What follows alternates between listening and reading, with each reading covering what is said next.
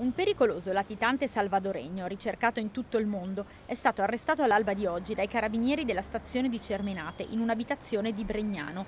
L'uomo, 33 anni, è uno dei membri del cosiddetto Esercito dei Bambini, un'organizzazione criminale transnazionale che opera anche negli Stati Uniti e in Europa, tristemente nota per crimini efferati e anche per il reclutamento di ragazzini e addirittura bambini.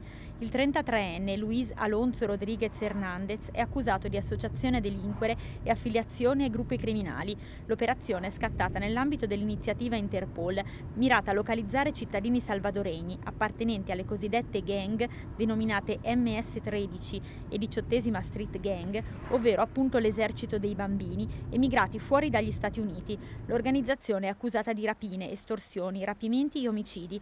Le forze dell'ordine a livello internazionale stimano che gli affiliati siano almeno 50.000. Ieri sera il Dipartimento della Sicurezza Interna statunitense ha segnalato al Servizio per la Cooperazione Internazionale di Polizia la presenza in Italia del 33enne salvadoregno. Il riscontro dei dati in possesso dell'Homeland Security con quelli della Sala Operativa Internazionale del Dipartimento della Pubblica Sicurezza ha consentito la scorsa notte ai carabinieri della stazione di Cermenate di individuare il latitante in un'abitazione di Bregnano.